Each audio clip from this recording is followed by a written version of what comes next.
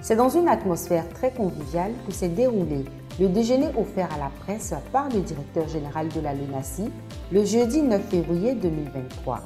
M. Draman Koulibaly a saisi cette occasion pour présenter le bilan de l'exercice écoulé. Il a ainsi salué les belles performances commerciales et financières réalisées en 2022 par la. Ainsi, donc, pour l'exercice clos au 31 décembre 2022, le résultat net sera d'environ 5 milliards.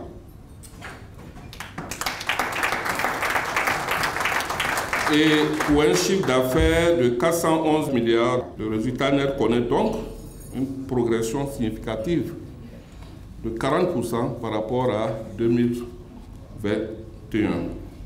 C'est le taux de croissance euh, que nous avons observé au-dessus du taux de croissance euh, normal selon notre plan stratégique de développement qui est de 20%.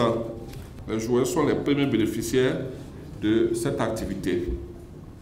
En 2022, nous leur avons redistribué 259 milliards de francs CFA sous forme de gains, soit 62,89% du chiffre d'affaires. Les concessionnaires et les délégués commerciaux ont été rémunérés à hauteur de 47 milliards de francs CFA au titre de leur commission aussi.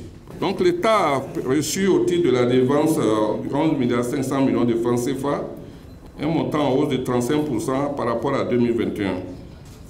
À cette contribution au budget de l'État, il convient d'ajouter les impôts ordinaires de l'ordre de 8 milliards 600 millions de francs CFA. Au titre donc des œuvres sociales réalisées pour la collectivité, c'est un budget de 3 milliards 600 millions.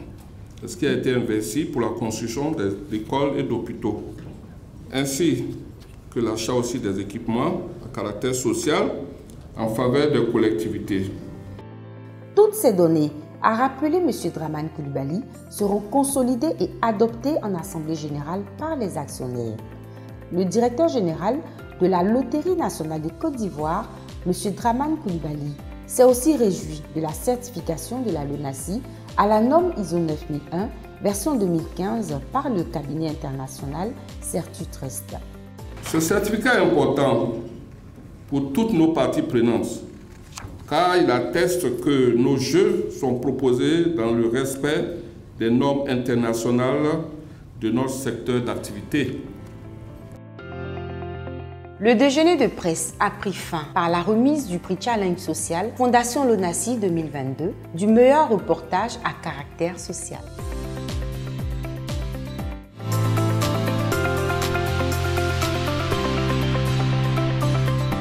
Lonassi, on a tous une bonne raison de jouer.